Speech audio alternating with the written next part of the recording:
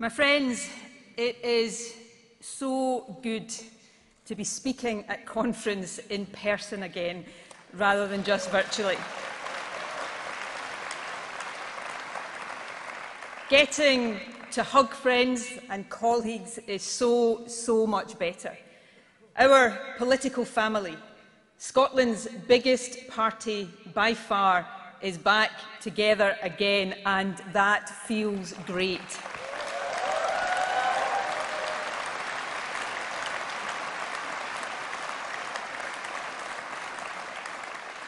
Now, the only downside of not being on Zoom is having to trade my slippers for these heels. but I suppose I can't have absolutely everything. Of course, it is always good to be here in Aberdeen, especially, especially now that the SNP is once again leading this great city.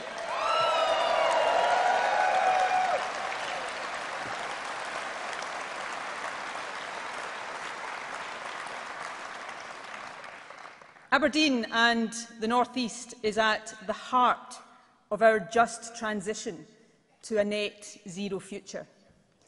Since our late Queen, whose extraordinary life of service we have honoured in recent weeks, switched on the Forties pipeline in 1975, oil and gas has powered the Scottish economy.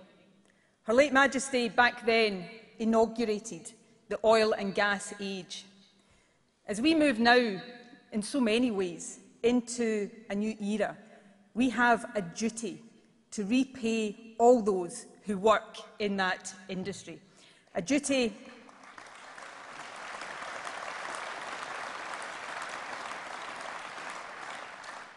a duty to support them into new jobs in green energy, an opportunity to usher in the new age of Scottish renewables. Conference, Aberdeen is the oil and gas capital of Europe. Let us resolve today to now make it the net zero capital of the world.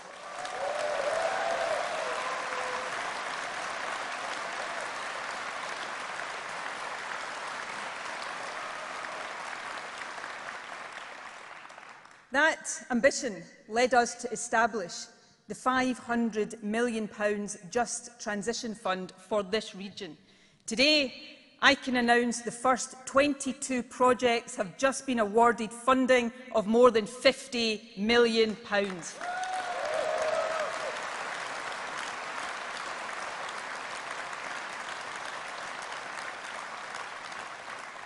These projects will support the production of green hydrogen, the development of wave and tidal technology, and even pioneer the use of waste from whisky to recycle EV batteries. They will focus on the skills our existing workforce need to take advantage of the renewables revolution. Incredible Scottish ingenuity here in the North East, supported by the Scottish Government, developing technologies to tackle the global climate emergency. It is exciting, inspiring stuff, and it is a shining example of what a Scottish Government can do when the powers lie in our hands.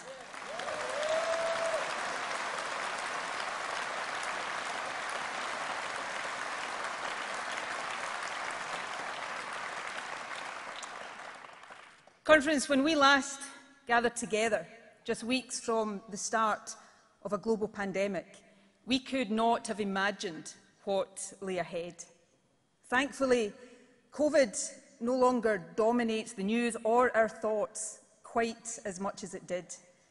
But the virus still poses a risk, especially as we approach winter. So before I go any further today, a plea. If you are eligible, get your booster jag. Vaccination is just as important now as it was last winter. If you don't do it for yourself, though you really, really should, do it for those more vulnerable than you. That this beautiful, magnificent country of ours is bursting with talent, creativity and ingenuity. We also have a sense of solidarity and common purpose, that, yes, our political debate can sometimes obscure. Conference, Scotland has got what it takes to be a successful independent country. It has it in abundance. Never let anyone tell us otherwise.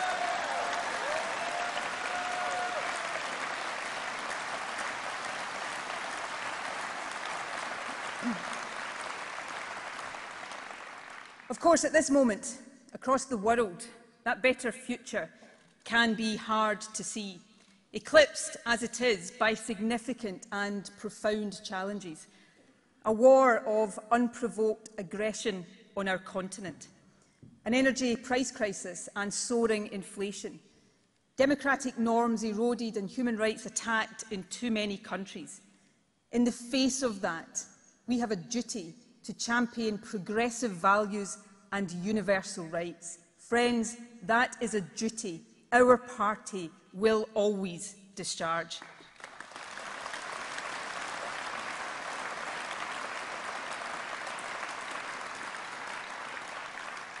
But in the UK, we have a Westminster government intent on taking us down a different path. The current Home Secretary speaking at the Conservative Party conference, said this about asylum seekers. And even as I quote her, I struggle to comprehend that she actually said these words. But here they are. I would love to be having a front page of the Telegraph with a plane taking off to Rwanda. That's my dream. It's my obsession. Conference, my dream is very different. I'm sure it is shared in this hall and by the vast majority across Scotland. My dream is that we live in a world where those fleeing violence and oppression are shown compassion and treated like human beings, not shown the door and bundled onto planes like unwanted cargo.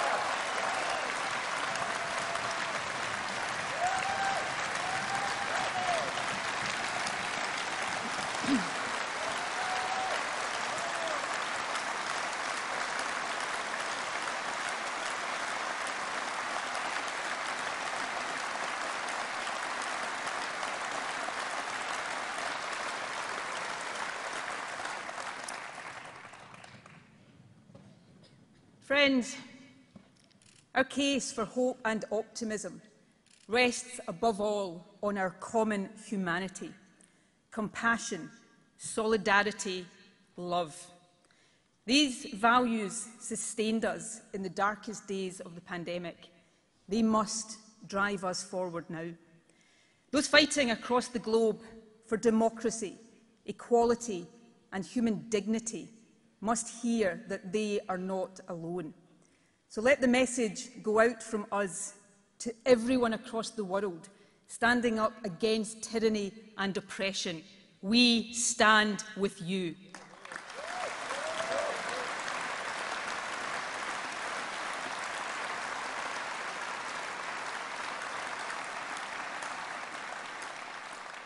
To women in Iran fighting for basic human rights, we stand with you.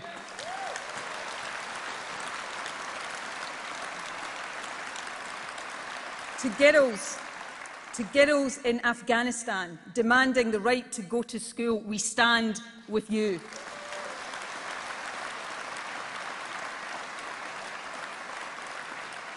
To men and women risking their lives in opposition to Putin in Russia or his sidekick in Belarus, we stand with you.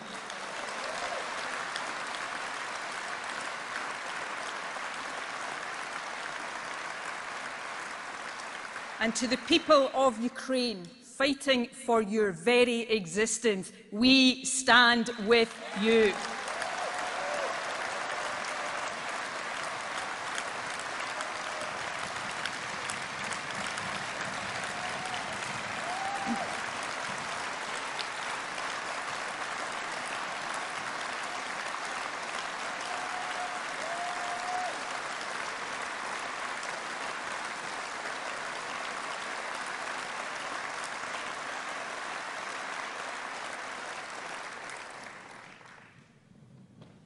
Today, We live on a continent where a so-called strong man, the one who has never looked weaker or more insecure, has launched a brutal invasion of his neighbour. That should be unimaginable in 21st century Europe. But for the people of Ukraine, it is all too real. Every day there are atrocities and killings. Today, the capital Kiev and cities across the country are under renewed bombardment. Despicable war crimes have been committed. And conference, let us be clear. These are war crimes for which Vladimir Putin must be held to account.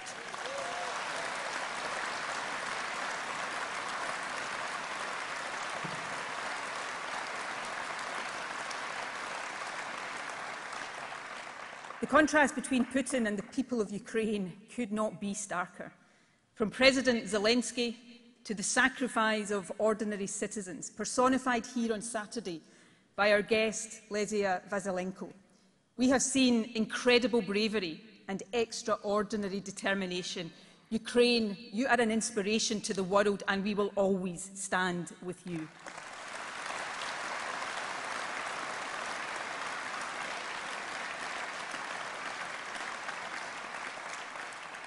Conference, we are not on the front line of this war, but Ukraine's victory in the battle between democracy and tyranny is vital for all of us.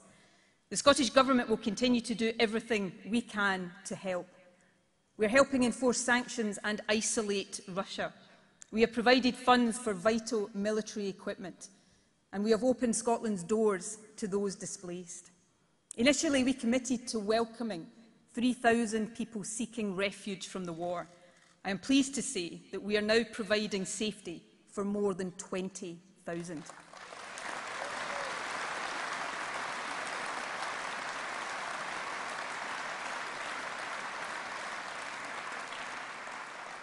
To each and every one, our hearts go out to you. We know you yearn to go home, but for as long as you need a place of sanctuary, be in no doubt, you have a home here in Scotland.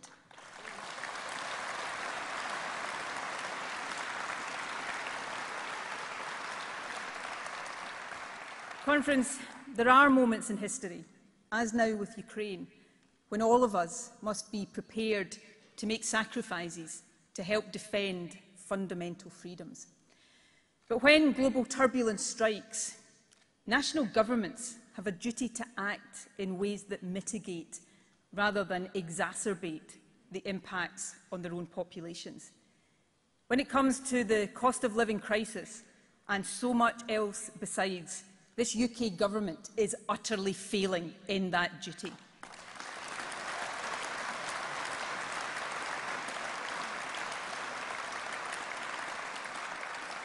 Each and every day, its actions are making matters worse.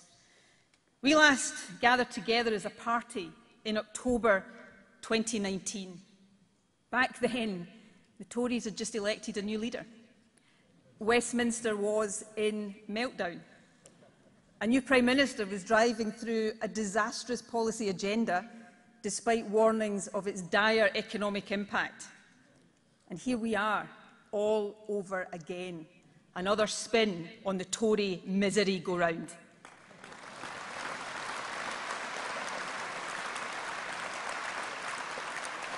But this time, this time the carousel is speeding up.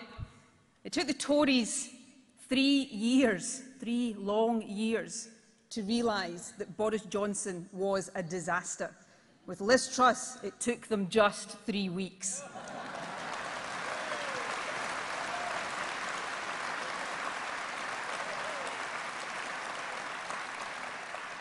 She caused mayhem in the markets with her decision to borrow billions of pounds to fund tax cuts for the richest, borrowing to be repaid by eye-watering austerity cuts and a raid on the incomes of the poorest. It is unconscionable.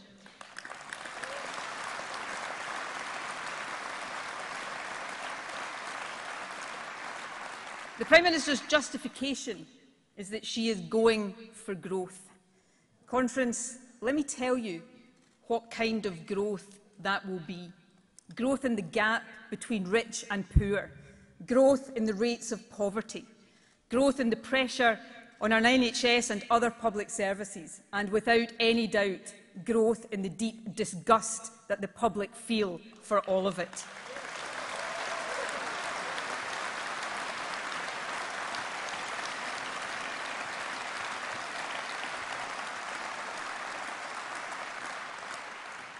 The truth is, massive handouts for the wealthiest at the expense of everyone else do nothing for the economy.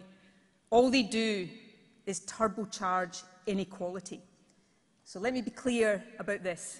No SNP government will ever inflict on Scotland such an immoral, self-defeating disaster of a policy.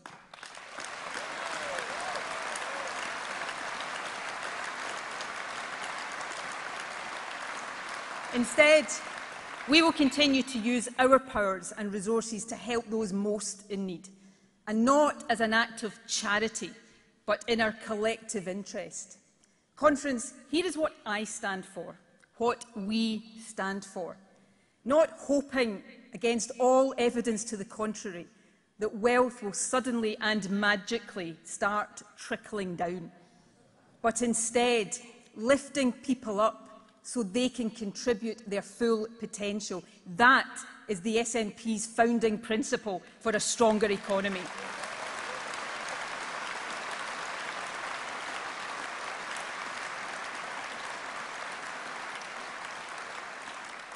I am proud of the work the Scottish Government is doing to tackle child poverty.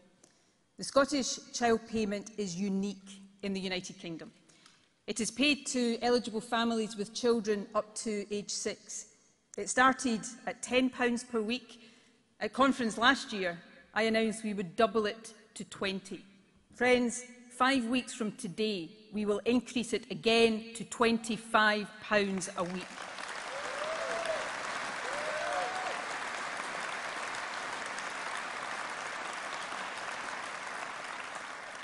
Vital financial help for more than 100,000 children delivered in time for Christmas.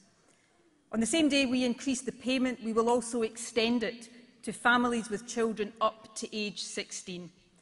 Now, conference...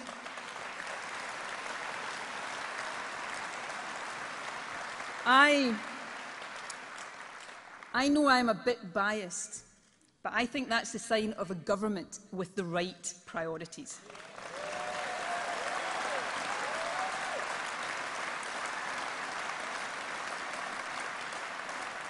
But we need, we need to do more because we know this winter is going to be really tough. Rather than looking forward to Christmas, too many families will be dreading it. Dreading it because they don't know if they can afford to heat their homes or even pay for food. As part of our help to the poorest families over the past year, we have made quarterly bridging payments of £130.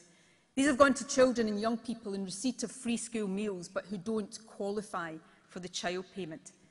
Today, I can announce that the final instalment, ahead of the extension of the child payment and due in the next few weeks, will not be £130. We will double it to £260.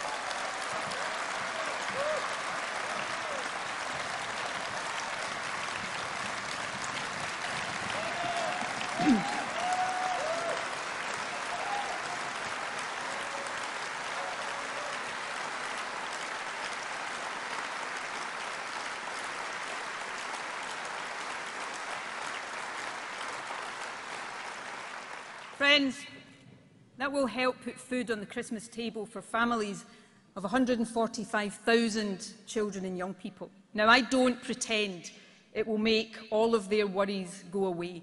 No government with our limited powers can ever do that. But I do hope this investment of almost £20 million will bring a bit of Christmas cheer to those who need it most.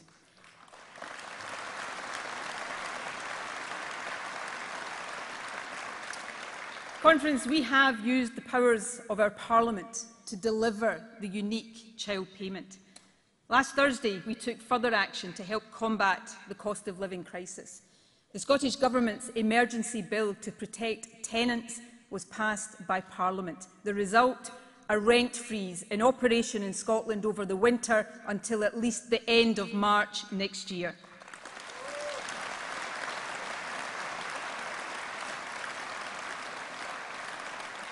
But as we have acted to help those in need, what about the UK Government? You know, it is difficult to overstate the calamity of their actions. Back in 2014, the Westminster establishment told us that it was the UK's standing in the world, its economic strength and its stability that made independence impossible. Now they say it's the UK's isolation, its weakness and instability, the very conditions they created that means change can't happen. As far as Westminster is concerned, it's heads they win and tails we lose, but this time it will not wash.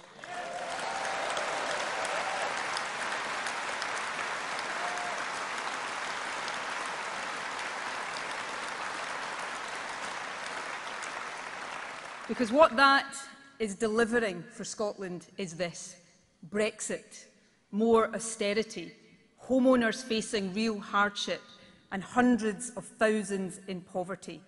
Conference, that is not strength and stability, it is chaos and catastrophe.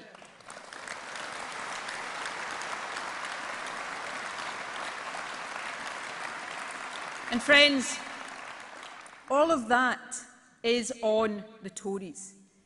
But we should remember that their ability to do it has too often been aided and abetted by Labour.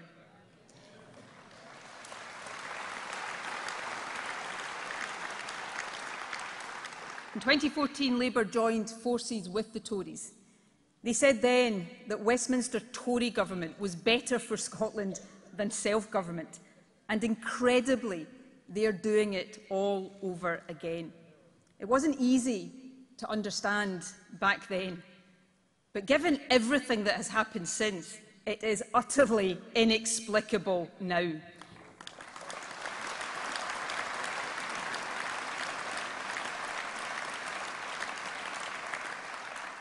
Take Brexit, imposed on Scotland against our will and doing real lasting damage to our interests our economy and our young people. Labour is now just as committed to Brexit, a hard Brexit, as the Tories. You know, at least the Tories believe in it. Labour doesn't. Yet rather than make the principled argument, which they could actually now win in England, they cower away from it. They abandon all principle for fear of upsetting the apple cart. Bluntly, they are willing to chuck Scotland under Boris Johnson's Brexit bus to get the keys to Downing Street. Friends,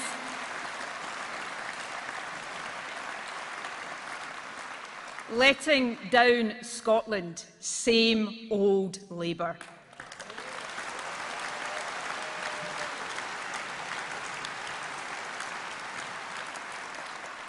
For Scotland, there is a fundamental democratic issue here, and it has real-life consequences. Whether it's Tory or Labour, Labour or Tory, it's not us who gets to decide. Our votes don't determine who gets to occupy number 10.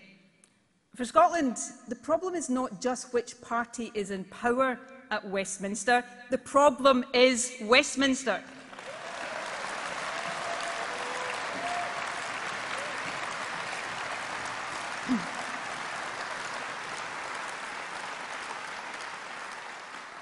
And to fix that, to make sure we get the governments that the largest number of us vote for, always, not just occasionally. For that, my friends, we need Scotland's independence.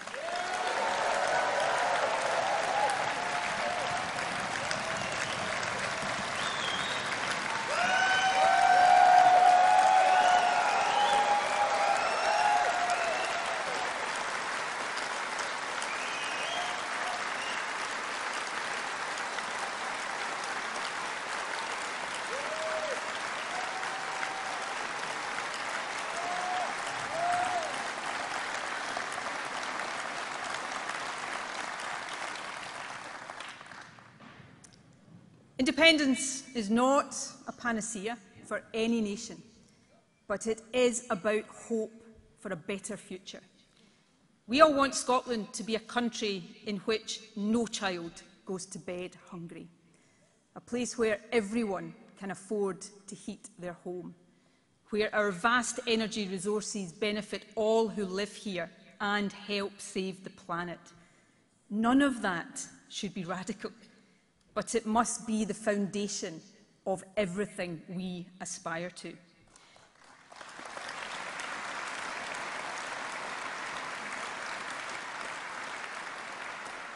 For as long, for as long as I am First Minister, and by the way, conference, I intend that to be for quite some time yet.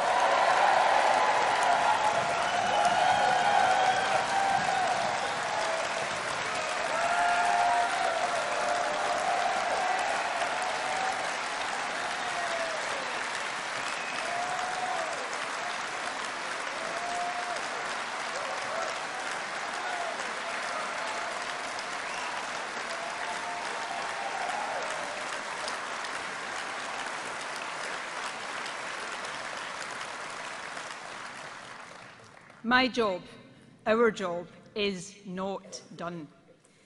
For as long as I am First Minister, I will do everything in my power to build the better Scotland we all want to see. Now, I know some people ask, and it is not an illegitimate question, why propose a referendum in the midst of a cost of living crisis? Conference, the answer is in the question. The answer is the cost of living crisis. It is, it is the Tory response to it. It is the financial chaos and it is the damage of Brexit. All of that is laying bare each and every single day the harm being done to people in Scotland because we are not independent.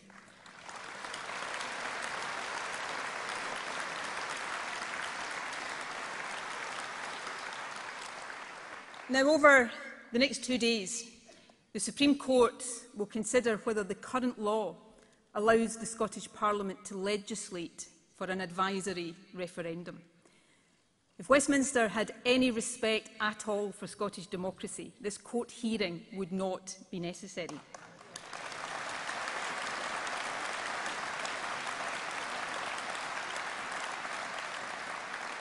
But Westminster has no such respect.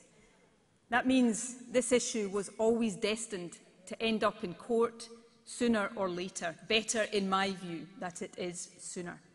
If the court decides, if the court decides in the way we hope it does, on 19th October next year, there will be an independence referendum.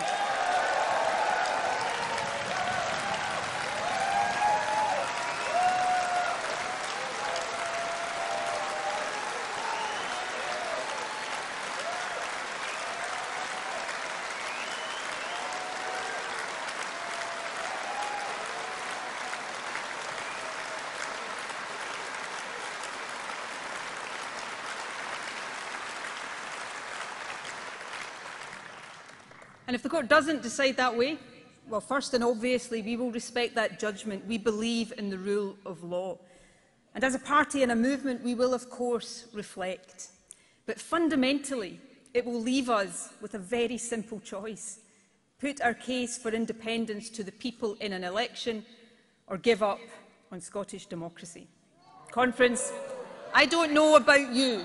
Actually, I suspect I do know about you but I will never, ever give up on Scottish democracy.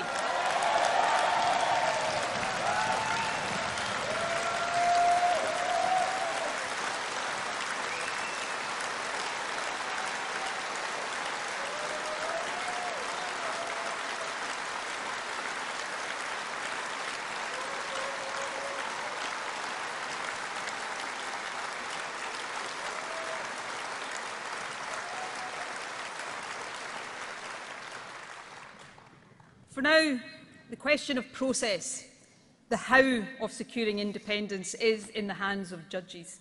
but it is for us to crack on with answering the question, why? Polls last week show that support for independence is rising.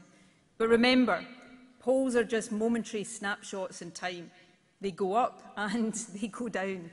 Much more significant are the findings of the latest British Social Attitude Survey. Ten years ago, support for independence was at 23%. Five years ago, 45%. Now, in that gold standard measure of public opinion, support for independence stands at 52%.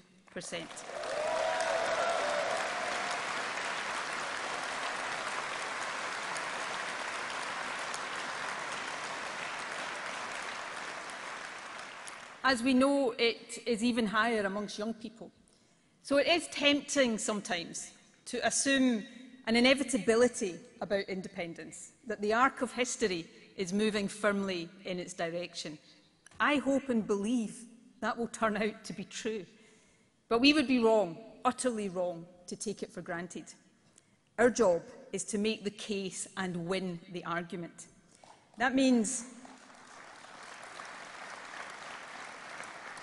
That means not just talking to ourselves, but reaching out to others not yet persuaded.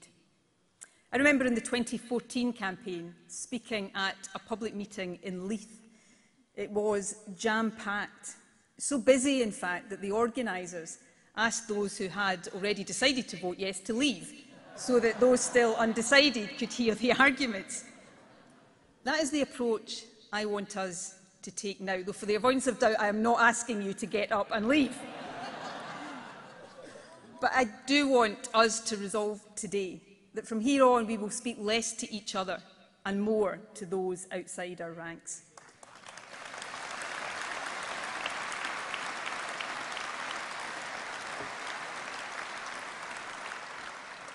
I know that some watching at home right now will never be persuaded to vote yes. You oppose independence as strongly and from as much principle as we support it. I respect that. That is democracy. And please remember, whatever happens in future, Scotland belongs to you as much as it does to us. Scotland belongs to all of us.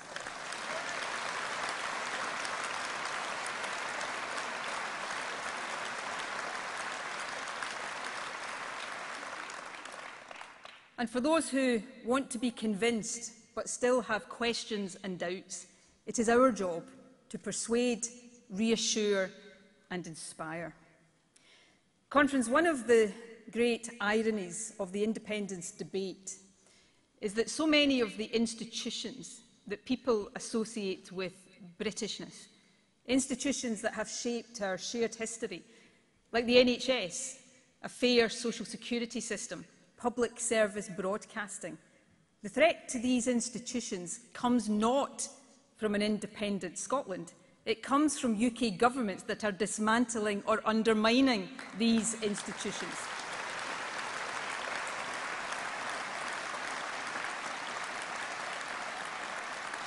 With independence, we can do more to protect them. Let's take one of those institutions, our most precious public service. The NHS is under enormous pressure right now. It delivers outstanding care within waiting time targets for the vast majority of those who need it. Today, I want us to pay tribute to each and every individual who works within our National Health Service.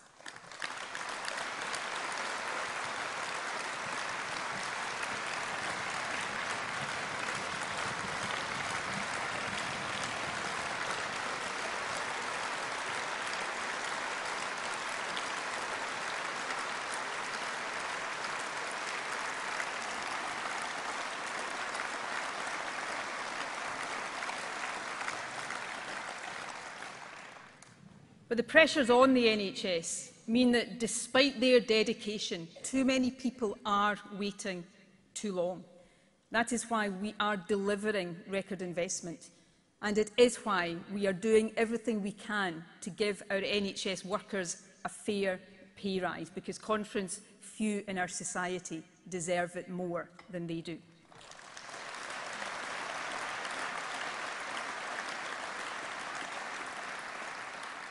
Fast diagnosis and reliable quality healthcare matters whatever your condition, but it is especially important for those with cancer. The best chance of surviving cancer remains early detection and treatment. Over the past year, we have established three new fast-track cancer diagnostic centres in Ayrshire and Arran, Dumfries and Galloway and Fife. They have already supported hundreds of patients. More than one in seven were found to have cancer, and around half of them were from the poorest parts of our country. So these centres are helping tackle health inequality too. Conference Fast Track Cancer Diagnosis Centres work. That's why I'm delighted to confirm today that two more centres will open next year, one in the Borders and one in Lanarkshire.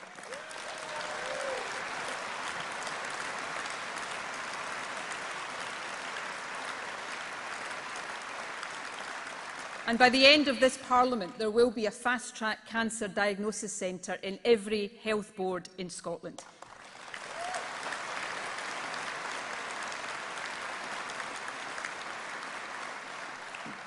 That is just one example of how we are supporting our NHS. That job is the most important our government has right now. Management of the NHS is our responsibility. It is no one else's. But the fact is our ability to fund it properly depends on decisions taken at Westminster. When they cut our budget or when they crash our economy, that makes it harder for us to protect the health service. And if as some Tories are now openly arguing. They move away from the very basis on which it was founded and towards an insurance-based alternative. That will destroy our National Health Service. With independence, that will never happen.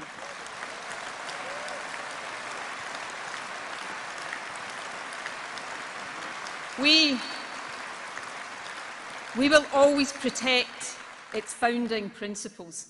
You know, with independence, we could choose to embed a universal NHS in our written constitution, a constitutional right to health care free at the point of need. Conference, if the SNP is in government, that is exactly what we will do.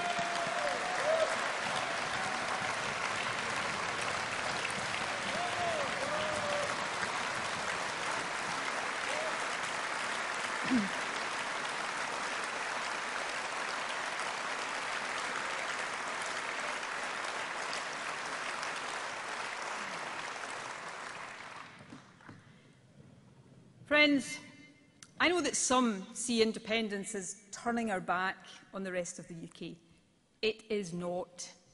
It is about recasting our relationship as one of equals. Across these islands, we share history, family connections and friendships. These things matter just as much to supporters of independence as to anyone else. In fact, I am willing to bet that the nations of these islands will work together even better with independence than we do now.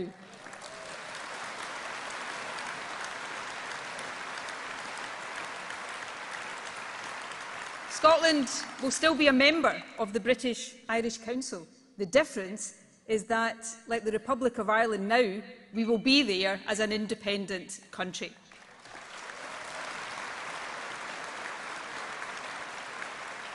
You know, There is a point here that at first glance might seem curious, but in my view it is becoming increasingly true. Independence is actually the best way to protect the partnership on which the United Kingdom was founded, a voluntary partnership of nations.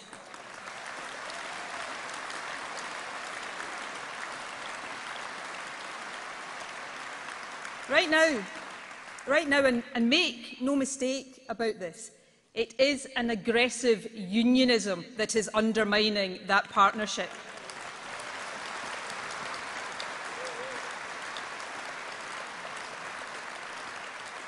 Westminster's denial of Scottish democracy, full frontal attacks on devolution, a basic lack of respect. If there is tension, that is what is causing it. It is, it is, my friends, Scottish independence a new partnership of the Isles that can renew the whole idea of our nations working together for the common good.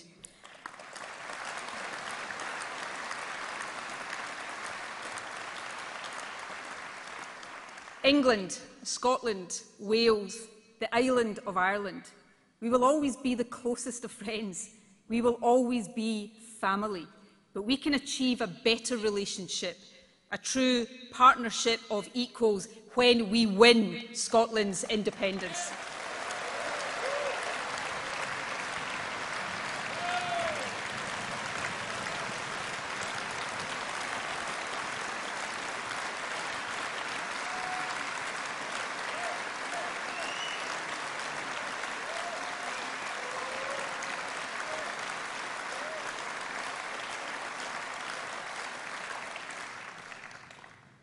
Conference, I am well aware that what gives many people most pause for thought on independence is the economy.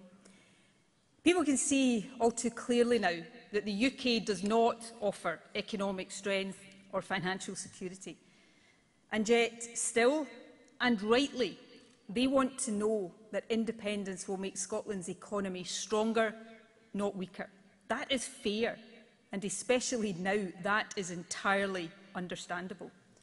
Of course, it is equally fair to point out that so much of the uncertainty and crisis we face is not because of independence, it is the opposite. Once again, it is because we are not independent. Conference. independence is not a miracle economic cure. But let this message ring out today. We can do better than this. We can do so much better than this.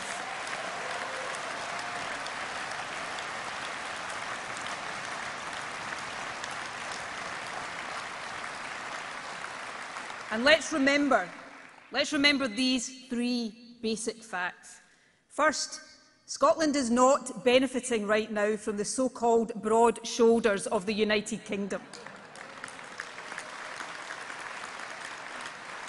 Second, and let there be no doubt about this, we have got everything it takes to be a successful, independent country.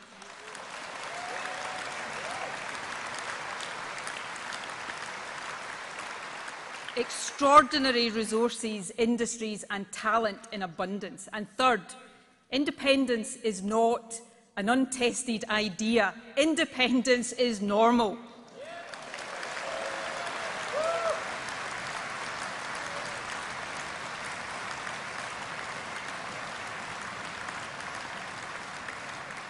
For countries of Scotland's size or even smaller, independence is an outstanding success.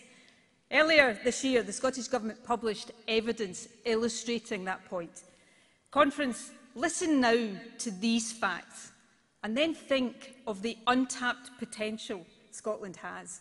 Compared to the UK, these other countries with so many similarities to Scotland are wealthier, more equal, they have higher productivity, lower poverty rates, lower child poverty and lower pensioner poverty, They have higher social mobility. They spend more on research and development. They have higher business investment. In short, these countries combine economic dynamism with social solidarity. They are amongst the most successful societies the world has ever known, and it is their success, not a failing UK economy, that Scotland must now aim to match.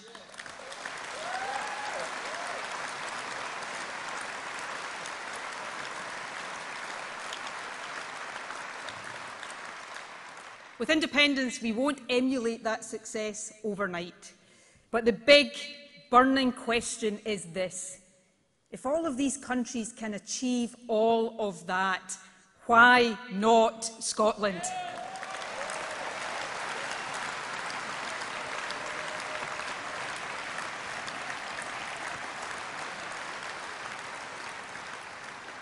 Conference, I can confirm that one week today we will publish the next in our Building a New Scotland series of papers. It will make the economic case for independence.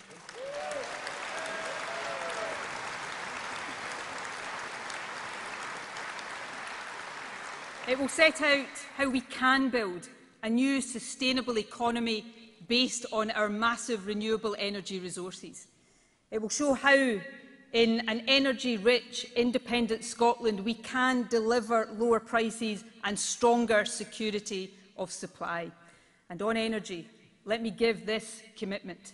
Unlike our UK counterparts, the Scottish Government will not be issuing licences for fracking.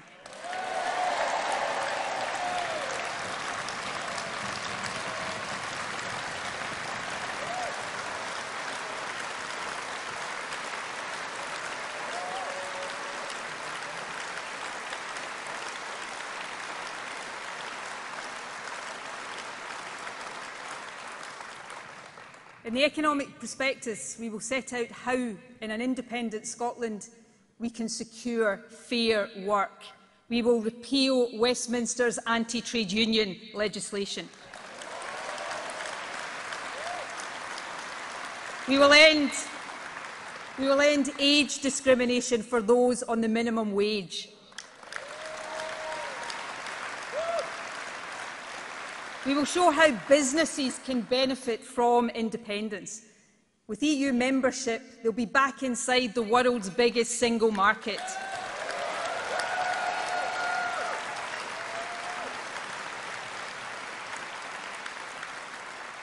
With a fairer migration policy and freedom of movement restored, they will have access to workers from Europe and across the world. They will have new opportunities to influence government policy through a social partnership approach.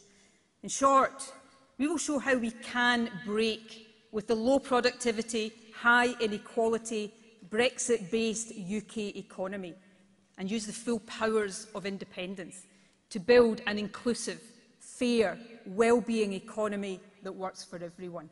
An economy that works for everyone. That is the prize of independence.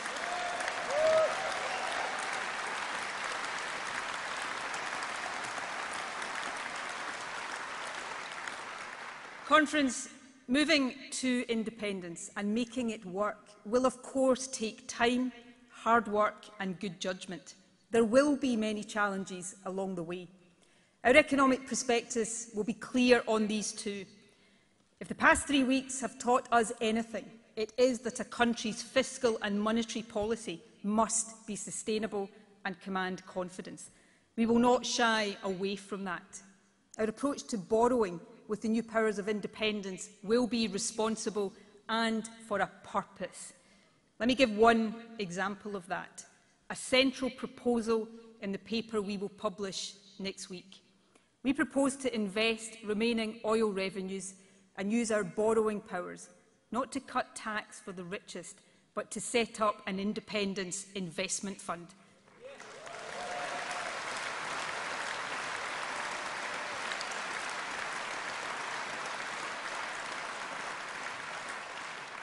The Building a New Scotland Fund will deliver up to £20 billion of investment in the first decade of independence. In practical terms, a fund like this could support a massive programme to decarbonise housing, cut fuel bills and reduce fuel poverty. It could finance the building of thousands more affordable homes, invest in local renewable energy projects, helping communities own assets and wield more influence over their use.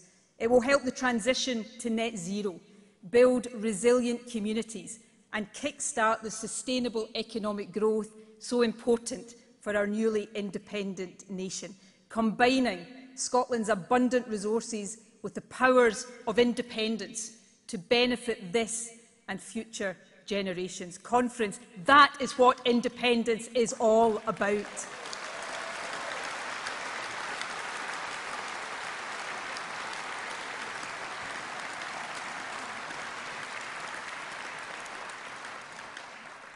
My friends, a week ago, one of the most famous men in the history of the independence movement, Ian Hamilton, died at the ripe old age of 97. As a young man in 1950, Ian, together with Kay Matheson, Gavin Vernon and Alan Stewart, repatriated the Stone of Destiny from Westminster Abbey.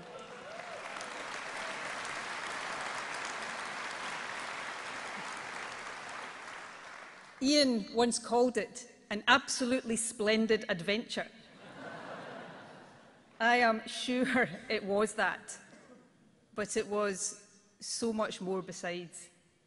In 1950, and to be frank, for years afterwards, independence must have seemed like an impossible dream.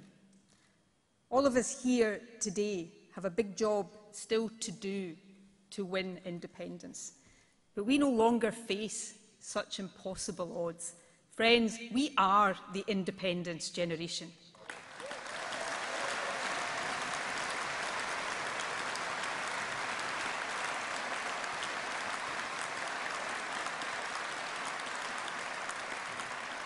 We are the inheritors of the cause kept alive by Ian Hamilton and his generation.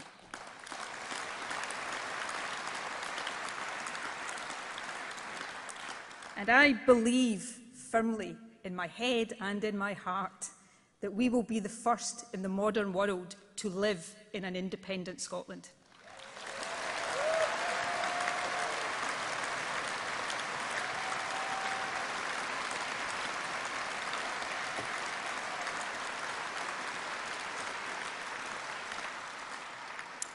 Let me tell you why I say that. A couple of weeks ago, I had a conversation with a woman that summed up uh, a question I think a lot of people have. She said that she would like Scotland to be independent. She thought it would be good. But she also worried that getting there would be hard. So her question was this Is it essential? And that got me thinking. For many people, like Ian, like all of us in this hall, we just believe it is right that Scotland could and should be an independent nation. But is it essential? Conference today, probably more than at any time in my life, the answer to that question is yes.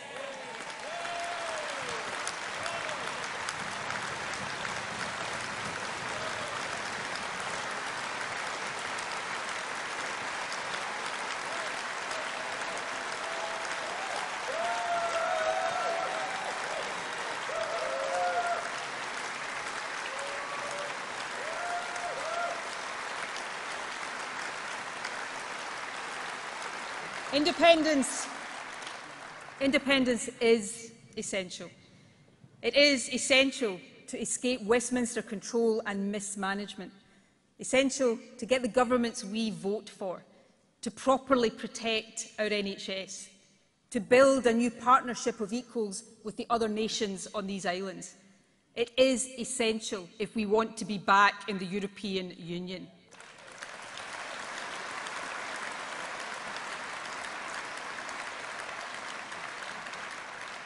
And it is essential if we want the people who live here to determine the future of this extraordinary country.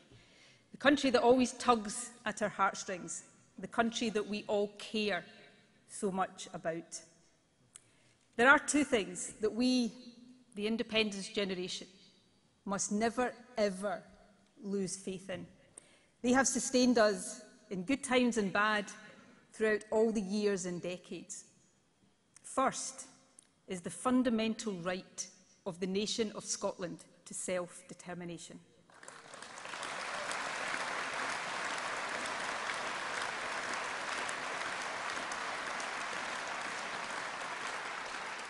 And the second is what history teaches us, and that is the overwhelming power of democracy to triumph.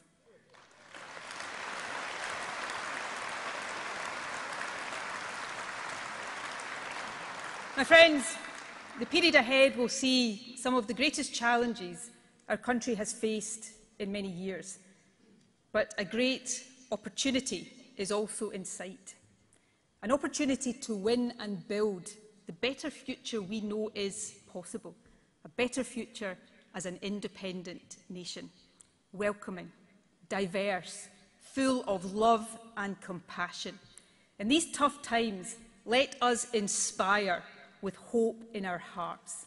Let us lift our eyes, put our shoulders to the wheel and build a better future for this and generations to come. Friends, with optimism, confidence and determination, we can now finish the job and we will. Thank you.